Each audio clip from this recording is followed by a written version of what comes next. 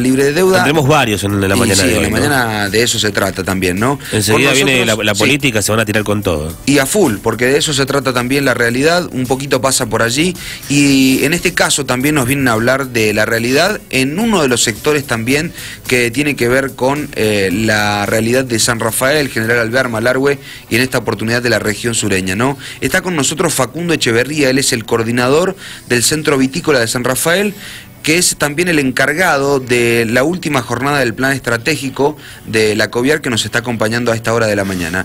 Le damos los buenos días y bienvenido. Facundo, eh, buenos días y bienvenido. ¿Cómo andás? Buen día, ¿cómo Bienvenido, andan? Facundo. Gracias por la invitación. Bien, estamos para eso, para que la gente pueda contar este, sus actividades, para que pueda opinar, para que pueda discutir también, ¿no? Exactamente. Bueno, este Facundo, ¿con qué tiene que ver esto que, que ha pasado con, con ustedes? Bueno, mira, eh, nosotros ya de la Corporación Vitivinícola Argentina, eh, es una, para poner un poco en contexto de lo que es y, y en qué está trabajando, es una, una mesa público y privada, donde allá por el 2000, el año 2000, se juntaron todos los actores de, de- de la cadena o el sector vitivinícola y plantearon eh, ciertas metas a mediano y largo plazo que tenían que ver con, con- con el sector, de acuerdo a sus necesidades, las necesidades del momento, y este, fijaron, fijaron estas metas, eh, de ahí se, se generó un plan estratégico vitivinícola con, con fecha de finalización en el 2020, en el cual planteaban tres objetivos estratégicos. Eh, uno es poder posicionar a los vinos de, de Argentina en los mercados de- del norte del, del mundo. Eh, por otro lado, ayudar al, al- al consumo el mercado interno y también trabajar fuertemente en lo que era el desarrollo de los pequeños y medianos productores a través de, de la incorporación de, de tecnología. Ese plan estratégico ya está finalizando el año que viene, por lo tanto este año se, se empezó a hacer una revisión, si bien todos los años eh, se hacía una revisión de- del plan, eh, este año empezó, empezamos a hacer unos talleres como para Y revisar si los objetivos se han cumplido en si se principio. habían cumplido y para ver cómo nos posicionábamos de acá al 2030. Y si los objetivos que tenemos por delante son los mismos también, ¿no? Si son los mismos, este, la verdad que el contexto país eh, Mm. y mundial, sobre todo país, con que se pensó en su momento en el 2000, el Mm. primer plan estratégico ha cambiado totalmente, eh, por lo tanto hoy nos encontramos con, con otra realidad. Así que bueno, a raíz de esto la dinámica es que se están haciendo talleres en los distintos oasis eh, vitivinícolas de Mendoza y en las distintas provincias, eh, con la idea esa de, de consensuar, de, de debatir, consensuar y este, determinar los nuevos objetivos de acá al, al 2030. ¿Y los objetivos que se plantearon en aquel momento se cumplieron? A ver, Esto de insertar el mu- en el vino en el mundo, Eh, de generar el consumo eh, en la ciudadanía. mira, a ver, el consumo del vino Han tenido una competencia importante con un- otras bebidas, tipos de bebidas, ¿no? y hay una competencia muy grande, eh, sobre todo en, en la pérdida. Si bien todavía el vino sigue, sigue estando en la mesa de los argentinos, Sí. este, por ahí es una bebida muy difícil de insertar en otros momentos. Eh, o sea, por ahí 7 de la tarde. El pasatiempo, eh, digamos, claro. sí, tal cual. Pero bueno, se han hecho eh, muchas campañas de promoción. Ustedes no sé si, si recuerdan en el año 2013, Argentina declaró al vino como bebida nacional. Mm. Sí. Eso fue un- un- una gestión exclusivamente de la Corporación Vitivinícola. O sea, la Corporación trabaja más en programas estructurales. No, no, no trata mucho la coyuntura, Mm. sino que eh, piensa en objetivos. Para eso, bueno, hay una fuerte campaña de promoción de- del vino argentino. Bueno, eh, así que eh, también se ejecutó un programa de integración de pequeños productores, donde fue un financiamiento del Banco Interamericano de Desarrollo de 50 millones de dólares. En San Rafael específicamente, yo estuve supervisando ese, ese proyecto y más o menos en San Rafael eh, 17 millones, 18 millones de pesos quedaron en manos de, de pequeños productores, ya sea mejorando su, su finca, con tela antigranizo, con toda la estructura y demás. Así que, a ver, creemos que, que se han hecho cosas, siempre, siempre falta, siempre hay cuestiones que, eh, por mejorar, eh, Mm. volvemos a lo mismo, o sea, el, el contexto país a veces este, no ayuda para, para, para que esos objetivos se cumplan. Sobre todo cuando es tan cambiante, ¿no? Ese es el tema. O Porque sea, cuando la- vos la- te planteas alguna meta o algún objetivo, lo haces a largo plazo pensando en que el- no, va- no, no tendrás ningún cimbronazo en el camino, ¿no? Eso es un poco el... Pero bueno, es difícil. Ahora, ¿No será que habría que plantearse los objetivos a corto plazo, te pregunto? Porque si yo te digo 2030, pero ¿sabes la cantidad de cosas que van a pasar en 10 años? yo creo que... No sé, eh, obviamente que tenés que tener una, una cuestión mirando muy lejos. Yo creo que no hemos acostumbrado a pensar en el corto. Creo que, que- que estamos permanentemente pensando en el corto. Creo que deben existir instituciones que son las instituciones permanentes, las que permanecen en el tiempo, las- sobre todo las instituciones intermedias, eh, que son las que tienen que velar por ahí por, por políticas más a largo plazo. A ver, la COVIAR es sector público y privado. Acá Sí. tenemos eh, todos los representantes del, del sector gremial privado de la vitivinicultura, pero también tenés al sector público, tenés a- a- al ministro de Economía de la provincia de Mendoza, tenés al de Economía de la, de la provincia de San Juan, tenés a la Nación sentados, o sea, ¿para qué? Para buscar eso, para buscar ciertos consensos que, de- que permitan que el sector vaya mejorando. Eh, ¿Sabes qué me pasa a mí cuando te escuchaba, te escuchaba atentamente recién y un poco lo que decía Juancito, eh, cómo insertamos el vino, ¿no? En la sociedad. Y lo que me pasa a mí es que veo que hay generaciones nuevas como que lo ven muy lejos al vino, ¿no?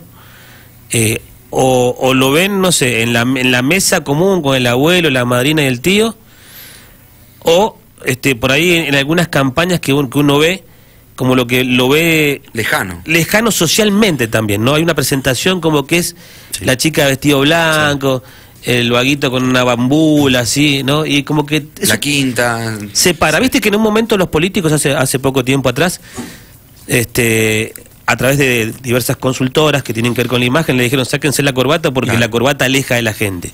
Como al pediatra le dijeron sacate el guardapolvo blanco, ponete con florcita porque acerca al niño o con dibujitos. ¿No, no, te, no, ¿No pasa eso? Yo veo una publicidad y lo veo como lejano también, ¿no? Sí, toda una cosa de que si no tomás el vino con una copa así, Sí, así, con una exacto, temperatura. Bueno, Un terreno que ganó la cerveza, por ejemplo. La cerveza, la cerveza supo apuntarla a la amistad. Llegó ahí al. Ah, fíjate al que la, grupo la amigos, estrategia de claro. marketing es la amistad. Netamente la amistad. Vos fíjate, cualquier publicidad de cerveza a través de la es la cerveza. reunión y la amistad. sí.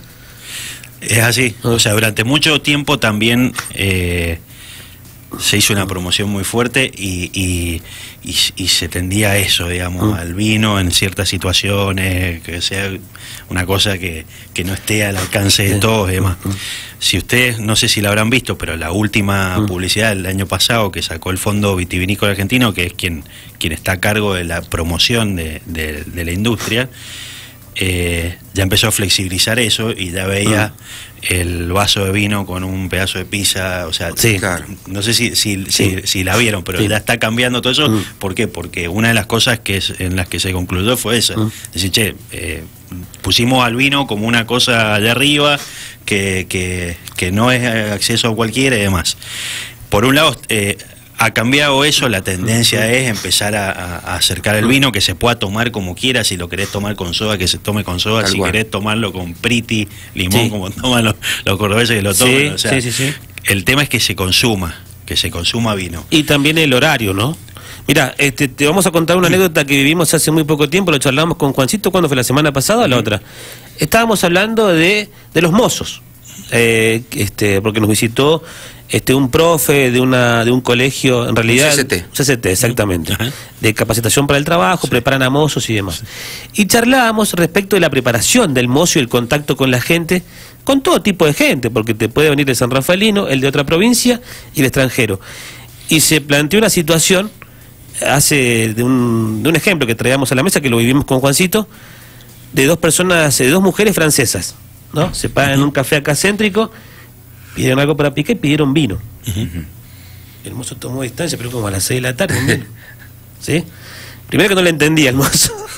Primero que no Tuvo que asistirle una, una pibita al lado, de la, de, de la mesa de al lado, y después como que le resultó llamativo. La pregunta es, Facundo, ¿cómo es el contacto de ustedes con el sector gastronómico? Pero con ese sector gastronómico, no con el resto de la noche, con el vino y demás, sino con ese sector. Lo que te puede pedir alguien un, un vino a las 6 de la tarde. Que no quiere decir que se va a empinar la botella y quedar destroncado a las 6 de la tarde. tal cual, Una copa sí, de sí. vino. Sí, sí. Bueno, se trabaja, se trabaja fuertemente con todo el, con todo el sector gastronómico. En esto tratamos de hacer acciones en conjunto, sobre todo esto, de, bueno, de, de la capacitación, de, de ver este cómo cómo también los mozos reaccionan ante estos Bueno. pedidos que son por ahí no habituales claro. en, el, en el contexto.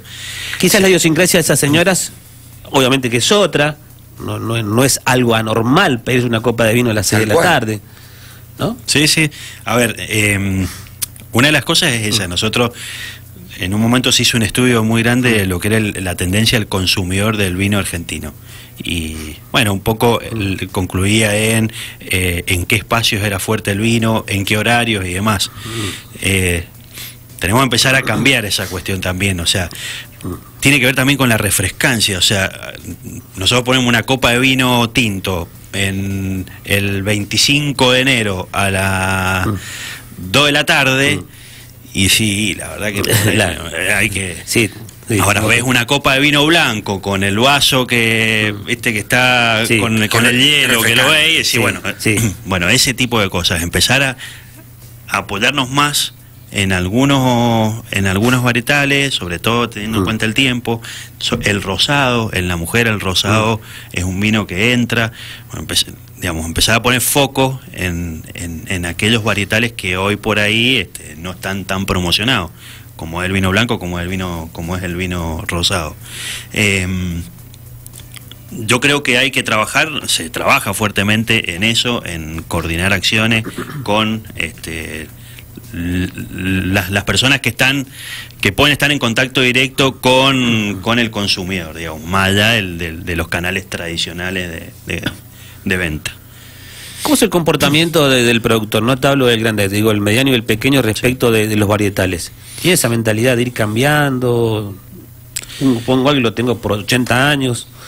eh, ¿Se va acomodando a Mirá, las tendencias? eh, ¿Se tiene en cuenta? Estoy preguntando algo que nada. Se trabaja, se Ah. trabaja fuerte en eso, se trabaja fuertemente en eso, eh, en, en la orientación.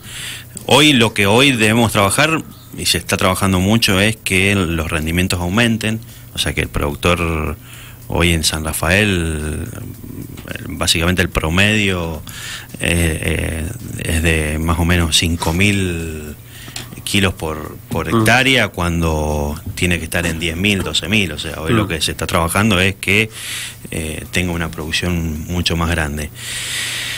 Y sí, lo que se está trabajando también es en, el, en el recambio varietal. Lo que pasa que, como ustedes saben, no es como la soja o como algunos cultivos que de un día para, de un Sí. año para otro Sí. ya, ya tenés. O sea, tenés que estar pensando en tres, cuatro años. Pero, pero la tendencia es esa porque también los precios son distintos. Los precios de un vino varietal o de una uva eh, fina no son los mismos que, que una uva común.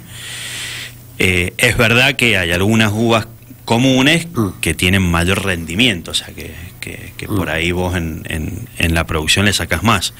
Eh, pero hoy se está, digamos, trabajando en, en mirar esa tendencia de, de- de que vayan cambiando a, a- a uvas finas, digamos. Eh, Juancito. Muy bien, le recordamos a la audiencia, estamos con Facundo Echeverría, él es el coordinador del Centro Vitícola de San Rafael.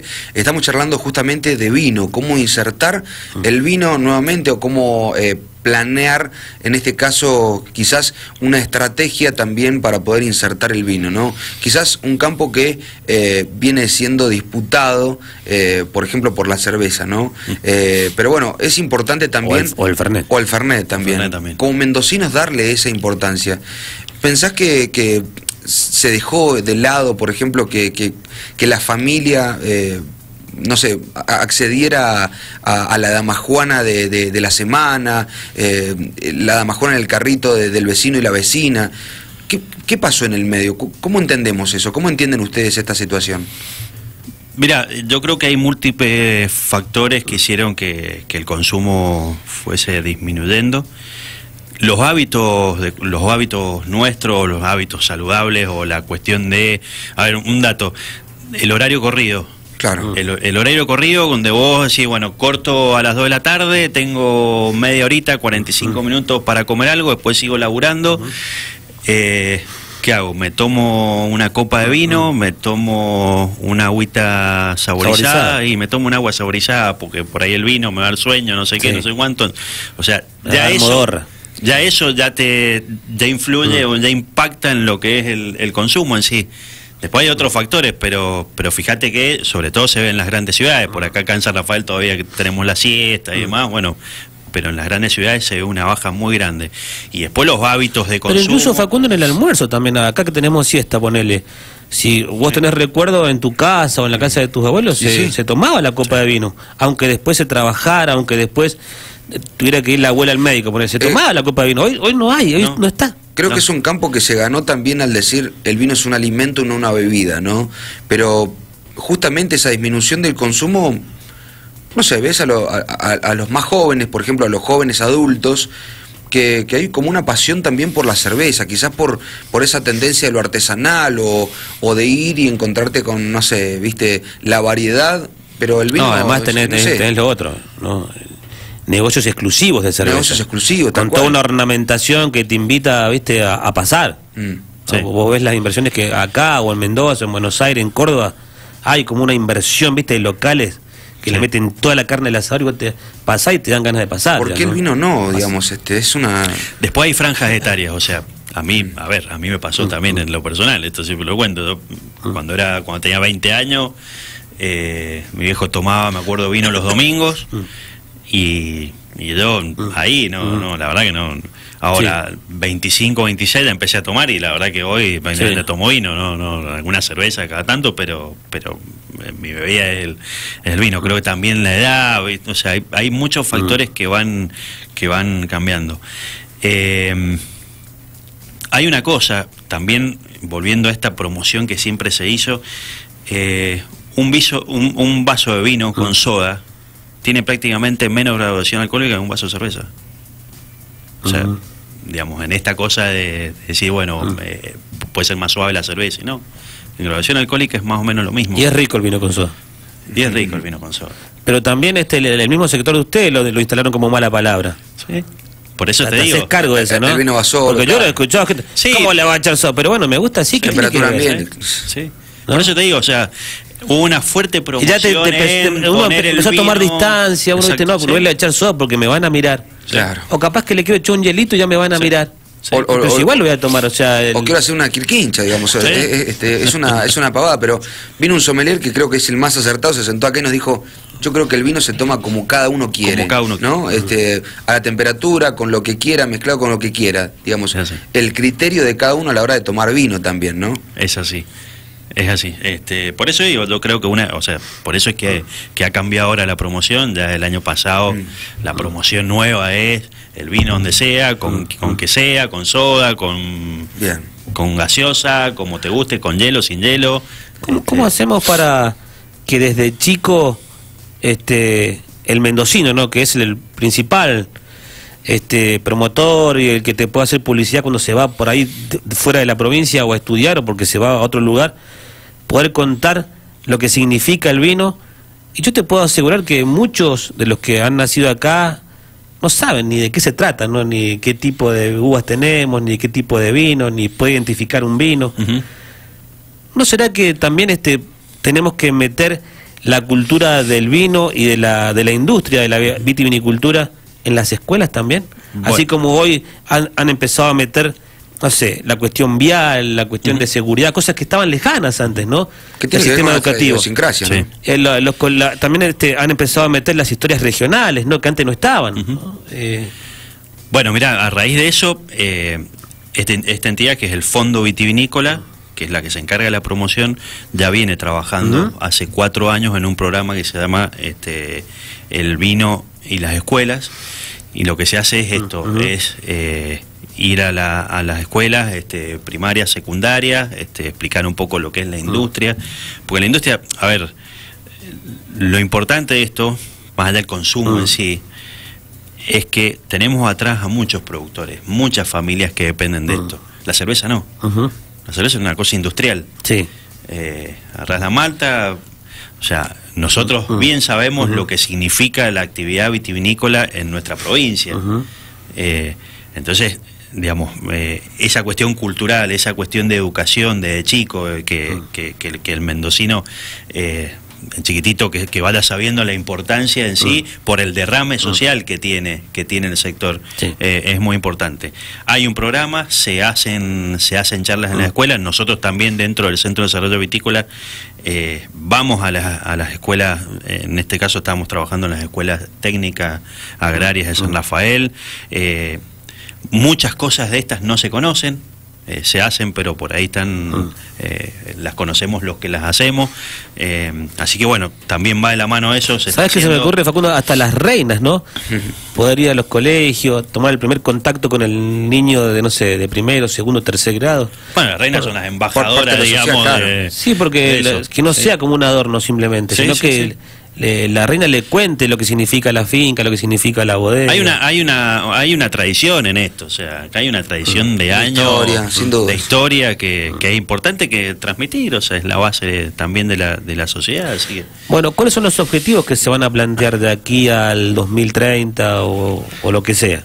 Mira, eh, eh, se está discutiendo, Bien. todavía no se ha definido, para eso son los talleres. Cada taller, la importancia de esto es que cada, ca- la idea es que cada taller deje su impronta. su- ustedes saben que lo que es el Oasis Sur no es el mismo que el Valle de Uco o el Este o San Juan, entonces por eso es que se han ido haciendo talleres en los distintos oasis. En San Rafael salió mucho este tema del enoturismo. Fíjense, a ver, en el plan estratégico vitivinícola que está venciendo el año que viene, eh, el enoturismo no, prácticamente no se hablaba de enoturismo. O sea, hace 15 años atrás, 18 años atrás, no hablábamos de enoturismo. Hoy es uno de los ejes fundamentales del nuevo plan estratégico. Es decir, bueno, cómo fortalecemos a todo el sector enoturístico, cómo, cómo, cómo vinculamos el vino con el turismo. eh, Así que bueno, uno de, los uno de los ejes y de los objetivos seguramente va a ser eh, trabajar en programas que favorezcan el desarrollo de- del enoturismo, seguir trabajando con los... Ya está pequeños- prácticamente en casi todos los paquetes que le venden a los jubilados, ¿viste? El Sí. tema del recorrido de nosotros, bodegas. nosotros en eso estamos trabajando eh, en lo local, estamos trabajando con, con- con Javier Muñoz, el director de turismo, eh, y elaboradores de vino artesanal. Hay muchos elaboradores de vino artesanal muy buenos. eh, porque queremos generar unos ca- los caminos del vino o, o la ruta del vino artesanal. O sea, Bien. hoy existen los caminos del vino, eh, que trabajan con algunos circuitos, sobre todo los circuitos tradicionales, que es Calle Cubillo para el Valle Grande, y los reyunos. Eh, muchos de estos productores de vino artesanal nos quedan alejados de esos, de esos, de esos circuitos, porque por ahí están más para el lado de Gullo. Entonces, bueno, ¿cómo podemos hacer para generar rutas exclusivas? Eh, que el turista venga, que vaya a ver al elaborador de vino artesanal, que le muestre, que le muestre la finca, cómo hace el vino, que de ahí se suba, que vaya a ver algún elaborador de, de chacinado, que coma algo, que vuelva a visitar. Entonces, Claro. generar circuitos fuera de, la, de las zonas tradicionales turísticas de San Rafael este, nos va a ayudar al desarrollo de, esa- de esas localidades y al desarrollo también de estos pequeños productores que dijeron, che, ¿qué puedo? ya no quiero vender más mi uva, o sea, quiero darle un valor agregado. Bueno, voy a, voy a empezar a hacer vino artesanal. Eh, eso es también parte del enoturismo, de trabajar buenísimo. en eso, en programas de eso, y sobre todo coordinado con, con- con los sectores, con las in- eh, instituciones este, este, locales. Muy bien. Bueno, le recordamos a la audiencia, estamos con Facundo Echevarría, coordinador del Centro Vitícola de San Rafael, también el encargado del Plan Estratégico Vitivinícola 2030, PEVI, conocido también así. Eh, Facundo, ¿qué pensás de a la hora de cuando el vecino, el turista, el lugareño llega a la góndola, del precio del vino? ¿Qué pensás? ¿Qué pienso? Eh, Del acceso a, ¿no? Pienso que que en realidad el, pre- el precio de la botella de vino. Hoy, hoy los insumos secos que le llaman botella, corcho, etiqueta y demás representan más o menos el 70-60% del valor. ¿Sí? Este, sí, pienso eso. Eh, pienso en que, que cuál es la, la- la participación de- del bodero y el productor en esa botella, en ese precio. Eh, no sé si hoy, a ver, eh, en cuanto a si es caro o no, me parece que, que depende mucho de, de esos costos. O sea, veo que no hay relación. No, es tremendo entre- lo que estás diciendo. la- el 70% de la botella, la etiqueta, el corcho y. ¿Cómo podemos pensar terrible, o ¿no? a futuro en eso? ¿Ah? Claro. Sí. Teniendo en Sí. cuenta ese gran gasto, ¿no?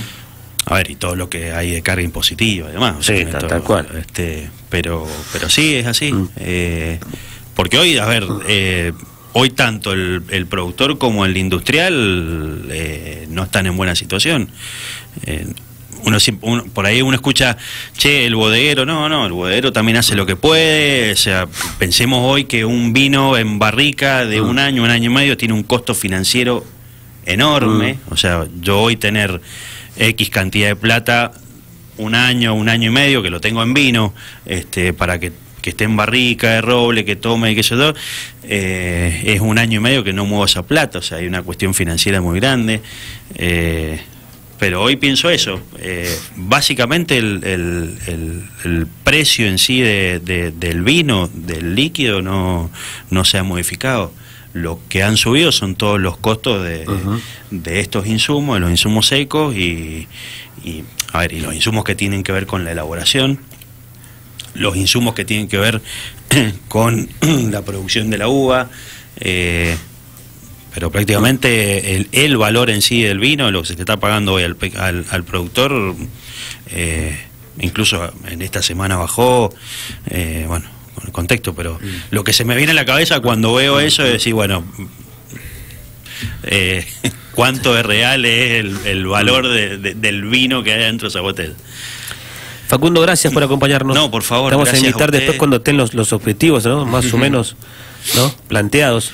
La idea es ya, a ver, eh, ayer, se que hizo el están taller trabajando en, y todo en- eso. ayer se hizo el taller en Río Negro. Río Negro también tiene una nueva vitivinicultura. Fíjate, dedicado Eh, siempre a la pera y la manzana, de repente vitivinicultura, ¿no? Sí, sí, hay zonas que, que, que son nuevas y que han empezado con... Nosotros venimos de- desde el norte, de Salta, Salta, abajo, exacto, se han hecho talleres y bueno, cuando se van a poner en común todos estos objetivos y bueno, definir el, el nuevo plan. Así que bueno, yo siempre digo, siempre cosas para mejorar hay. Eh, siempre tenemos que ver el, el vaso medio lleno, no el vaso medio vacío. Eh, ¿Qué hubiese pasado si no, no, no, no hubiésemos tenido un plan estratégico? Si no pensamos en estas cosas. Eh, después lo coyuntural, sabemos, Sí. estamos en Argentina. eh, Pero hay que estar preparado, ¿no? Pero hay que estar preparado, vos tenés un plan. Gracias. gracias a ustedes, chicos. Bueno, estaremos charlando de nuevo con Facundo en alguna que otra oportunidad. ¿no? Por Un tema muy interesante. ¿Con quién charlamos, Juancito? Bueno, hablamos con Facundo Echeverría, coordinador del Centro Vitícola de San Rafael, también uno de los encargados de coordinar en San Rafael el Plan Estratégico Vitivinícola 2030, hablando de justamente lo nuestro también, ¿no? Lo que habla de nuestra idiosincrasia, que tiene que ver también con el vino. A propósito, esta nota la van a poder encontrar en dialradio.tv, poder compartir la nota, volver a ver y escuchar, por supuesto, allí en nuestro sitio web.